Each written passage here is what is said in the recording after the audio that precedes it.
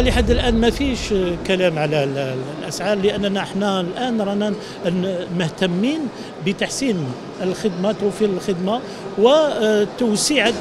كذلك المجال النشاط في في مجال توفير الطاقة بالنسبة للكهرباء والغاز وكذلك بالنسبة لتوزيع الوقود من خلال كذلك المشاريع الكبرى اللي تقوم بها سونيل غاز في الإنتاج نقل وتوزيع الكهرباء والمشاريع الكبرى اللي تقوم بها نفطال كذلك.